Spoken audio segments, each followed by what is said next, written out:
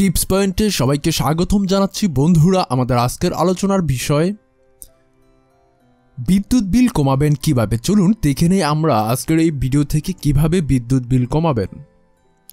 যান্ত্রিক জীবনে বর্তমানে বিদ্যুতের উপর নির্ভরশীল হয়ে পড়েছেন সবাই, তবে বাড়ির বিদ্যুৎ বিল বেড়েই চলছে।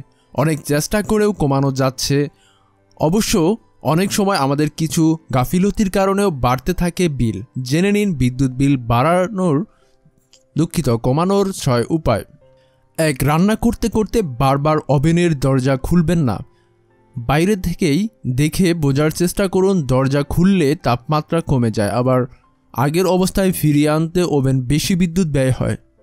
দুই, যখন মেশিন বা ইস্ত্রি ব্যবহার করবেন না, তখন প্লাগ খুলে রাখুন, কারণ প্লাগ না খুলে সুইচ বন্ধ রাখলেও কিছুটা বিদ্যুৎ খরচ হয়।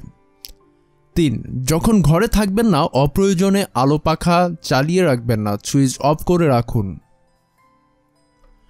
চার, গরমকালে এসি চালালে তরতর করে বাড়ে বিদ্যুৎ বিল, অপ্রয়োজনে এসি না চালিয়ে পাখা চালান, যদিও এখন শীতকাল চলে আসার সেটাও প্রয়োজন হবে না, তবে ফলে খরচ অনেক কমে যাবে। পাঁচ কম্পিউটার যখন ব্যবহার করবেন না, তখন চালিয়ে রাখবেন না, বন্ধ করে রাখুন অথবা স্লিপ মোডে রাখুন, এতে বিদ্যুৎ কম খরচ হবে।